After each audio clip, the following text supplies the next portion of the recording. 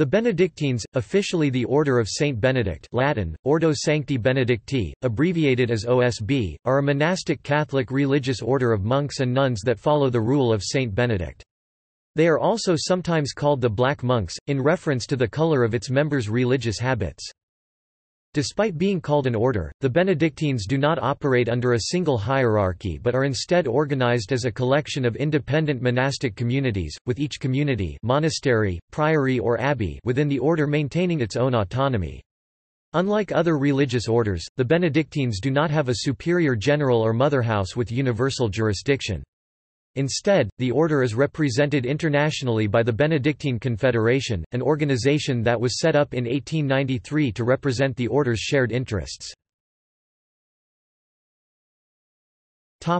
Historical development The monastery at Subiaco in Italy, established by Saint Benedict of Nursia c. 529, was the first of the dozen monasteries he founded. He later founded the Abbey of Monte Cassino. There is no evidence, however, that he intended to found an order and the rule of Saint Benedict presupposes the autonomy of each community. When Monte Cassino was sacked by the Lombards about the year 580, the monks fled to Rome, and it seems probable that this constituted an important factor in the diffusion of a knowledge of Benedictine monasticism. It was from the monastery of St. Andrew in Rome that Augustine, the prior, and his forty companions set forth in 595 on their mission for the evangelization of England. At various stopping places during the journey, the monks left behind them traditions concerning their rule and form of life, and probably also some copies of the rule. Lérins Abbey, for instance, founded by Honoratus in 375, probably received its first knowledge of the Benedictine rule from the visit of Saint Augustine and his companions in 596. Gregory of Tours says that at Ainay Abbey, in the 6th century, the monks followed the rules of Basil, Cassian, Caesarius, and other fathers, taking and using whatever seemed proper to the conditions of time and place." And doubtless the same liberty was taken with the Benedictine rule when it reached them. In Gaul and Switzerland, it supplemented the much stricter Irish or Celtic rule introduced by Columbanus and others. In many monasteries it eventually entirely displaced the earlier codes. By the 9th century, however, the Benedictine had become the standard form of monastic life throughout the whole of Western Europe, excepting Scotland, Wales, and Ireland, where the Celtic observance still prevailed for another century or two. Largely through the work of Benedict of Aniane, it became the rule of choice for monasteries throughout the Carolingian Empire. Monastic scriptoria flourished from the 9th through the 12th centuries. Sacred scripture was always at the heart of every monastic scriptorium. As a general rule those of the monks who possessed skill as writers made this their chief, if not their sole active work. An anonymous writer of the 9th or 10th century speaks of six hours a day as the usual task of a scribe, which would absorb almost all the time available for active work in the day of a medieval monk. In the Middle Ages, monasteries were often founded by the nobility. Cluny Abbey was founded by William I, Duke of Aquitaine in 910. The abbey was noted for its strict adherence to the rule of Saint Benedict. The abbot of Cluny was the superior of all the daughter houses, through appointed priors. One of the earliest reforms of Benedictine practice was that initiated in 980 by Romuald, who founded the Camaldolese community. The dominance of the Benedictine monastic way of life began to decline towards the end of the 12th century, which saw the rise of the Franciscans and Dominicans. Benedictines took a fourth vow of stability which professed loyalty to a particular foundation. Not being bound by location, the mendicants were better able to respond to an increasingly urban environment. This decline was further exacerbated by the practice of appointing a commendatory abbot, a lay person, appointed by a noble to oversee and to protect the goods of the monastery. Oftentimes, however, this resulted in the appropriation of the assets of monasteries at the expense of the community which they were intended to support. England The English Benedictine congregation is the oldest of the 19 Benedictine congregations. Augustine of Canterbury and his monks established the first English Benedictine monastery at Canterbury soon after their arrival in 597. Other foundations quickly followed. Through the influence of Wilfrid, Benedict Biscop, and Dunstan, the Benedictine rule spread with extraordinary rapidity, and in the north it was adopted in most of the monasteries that had been founded by the Celtic missionaries from Iona. Many of the episcopal sees of England were founded and governed by the Benedictines, and no fewer than nine of the old cathedrals were served by the black monks of the priories attached to them. Monasteries served as hospitals and places of refuge for the weak and homeless. The monks studied the healing properties of plants and minerals to alleviate the sufferings of the sick. Germany was evangelized by English Benedictines. Willibrord and Boniface preached there in the 7th and 8th centuries and founded several abbeys. In the English Reformation, all monasteries were dissolved and their lands confiscated by the Crown, forcing their Catholic members to flee into exile on the continent. During the 19th century they were able to return to England, including to Selby Abbey in Yorkshire, one of the few great monastic churches to survive the dissolution. St Mildred's Priory, on the Isle of Thanet, Kent, was built in 1027 on the site of an abbey founded in 670 by the daughter of the first Christian king of Kent. Currently the priory is home to a community of Benedictine nuns. Five of the most notable English abbeys are the Basilica of St. Gregory the Great at Downside, commonly known as Downside Abbey, the Abbey of St. Edmund, King and Martyr commonly known as Douai Abbey in Upper Woolhampton, Reading, Berkshire, Ealing Abbey in Ealing, West London, and Worth Abbey. Prinknash Abbey, used by Henry VIII as a hunting lodge, was officially returned to the Benedictines 400 years later, in 1928. During the next few years, so-called Prinknash Park was used as a home until it was returned to the order. St. Lawrence's Abbey in Ampleforth, Yorkshire was founded in 1802.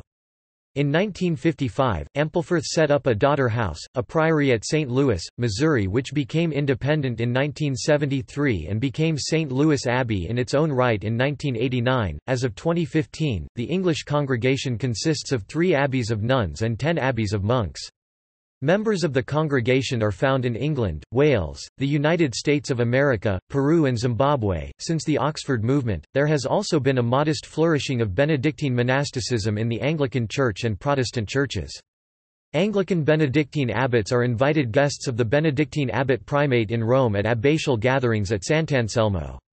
There are an estimated 2,400 celibate Anglican religious 1,080 men and 1,320 women in the Anglican Communion as a whole, some of whom have adopted the rule of Saint Benedict. Monastic libraries in England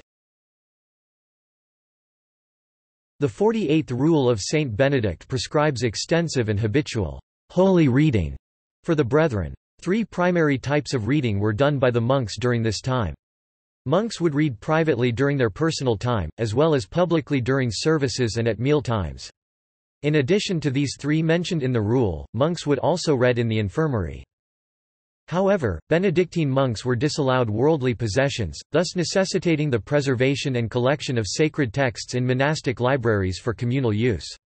For the sake of convenience, the books in the monastery were housed in a few different places, namely the sacristy, which contained books for the choir and other liturgical books, the rectory, which housed books for public reading such as sermons and lives of the saints, and the library, which contained the largest collection of books and was typically in the cloister. The first record of a monastic library in England is in Canterbury. To assist with Augustine of Canterbury's English mission, Pope Gregory the Great gave him nine books which included the Gregorian Bible in two volumes, the Psalter of Augustine, two copies of the Gospels, two martyrologies, an exposition of the Gospels and Epistles, and a Psalter. Theodore of Tarsus brought Greek books to Canterbury more than 70 years later, when he founded a school for the study of Greek.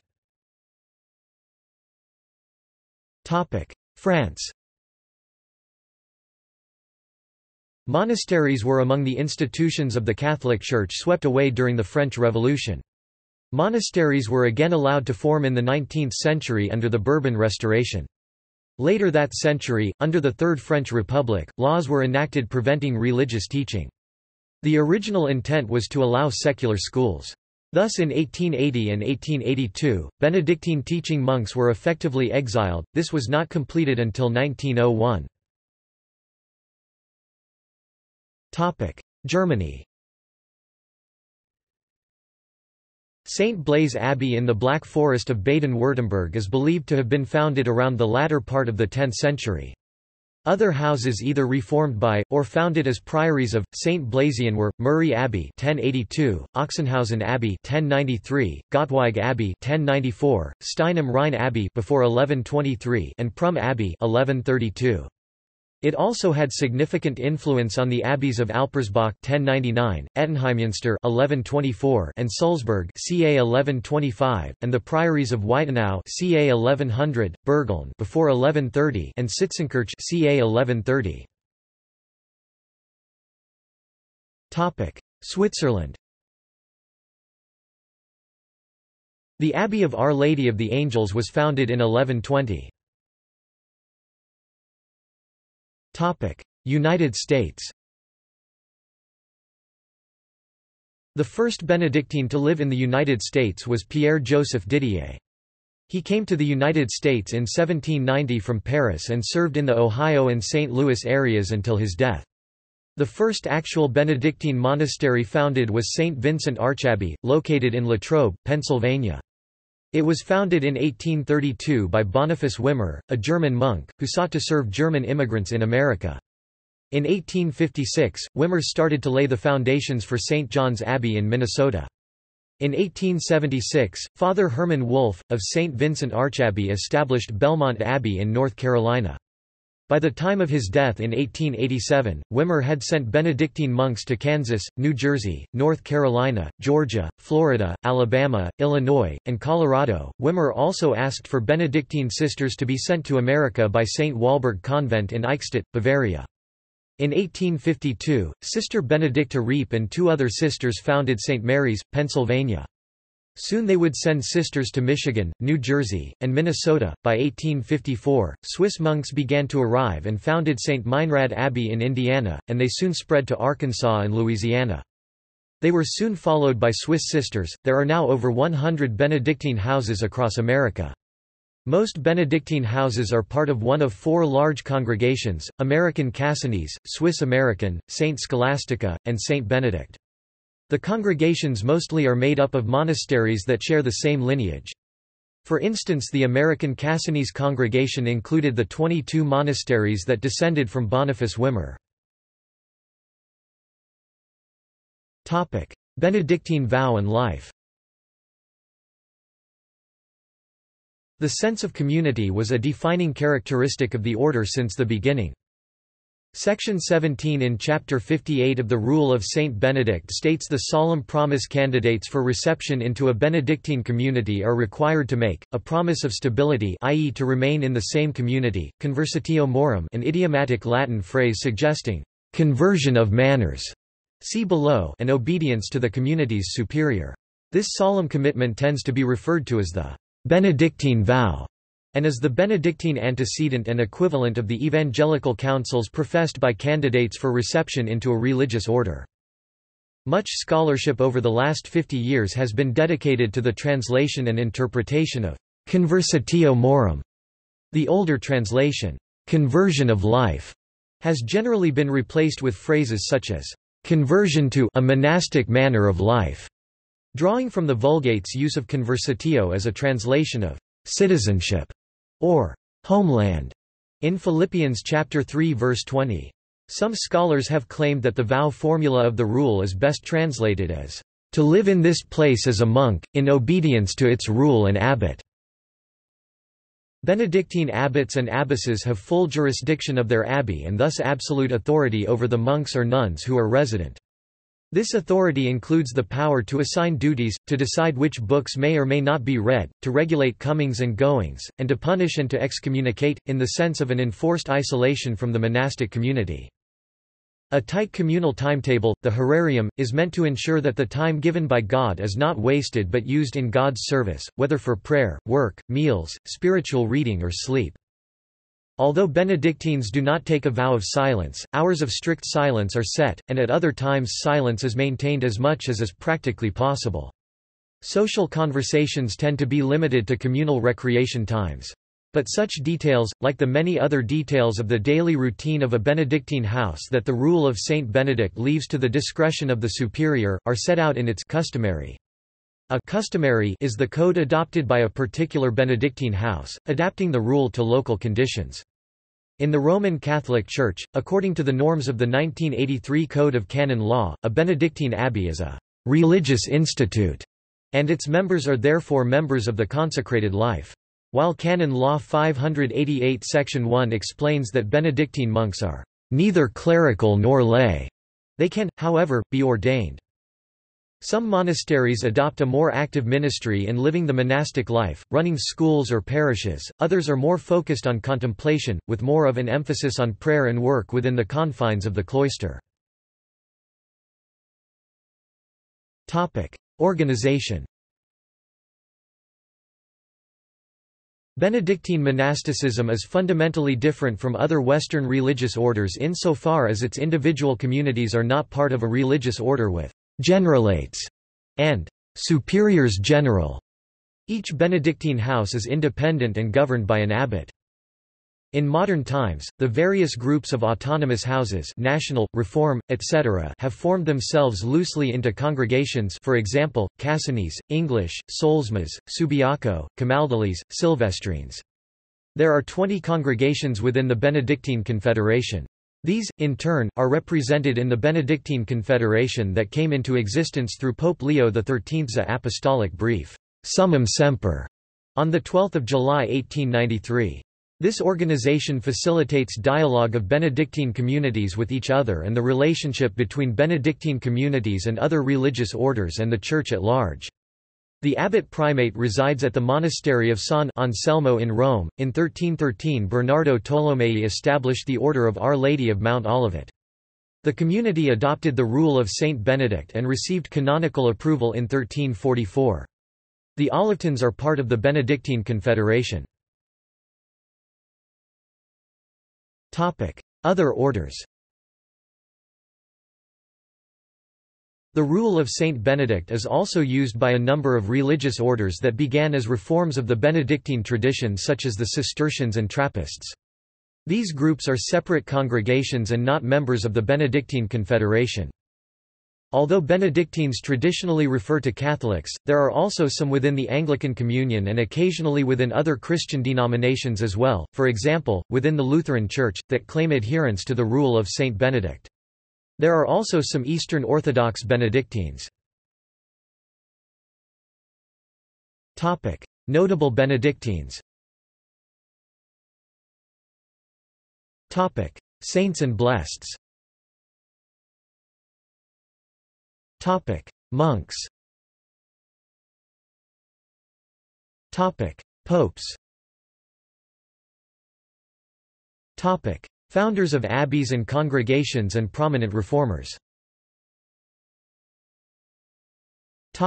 Scholars, historians, and spiritual writers.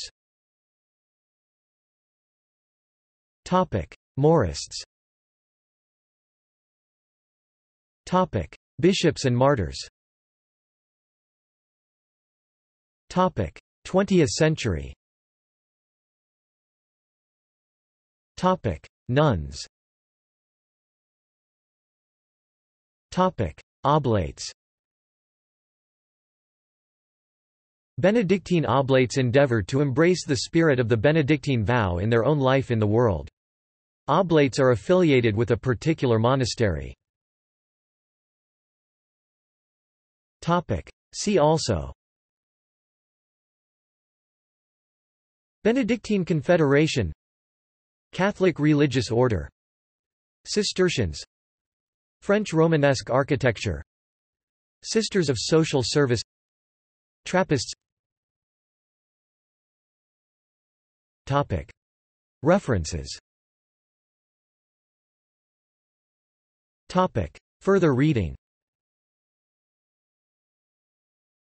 Dom Columba Marmion OSB, Christ the Ideal of the Monk, Spiritual Conferences on the Monastic and Religious Life ENGL, edition London 1926, TRSL, from the French by a nun of Tyburn Convent.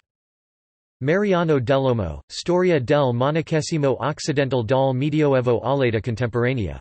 Il carisma di San Benedetto Travexx Secolo. Jaca Book, Milano 2011. ISBN 978-88-16-30493-2. External links Abbey, Benedictine. Encyclopædia Britannica, 1 11th ed., 1911. pp. 12–14. Confederatio Benedictina Ordinis Sancti Benedicti, the Benedictine Confederation of Congregations Links of the congregations. St. Vincent Archabbey. Boniface Wimmer. Http www.amundal.org index. Php, n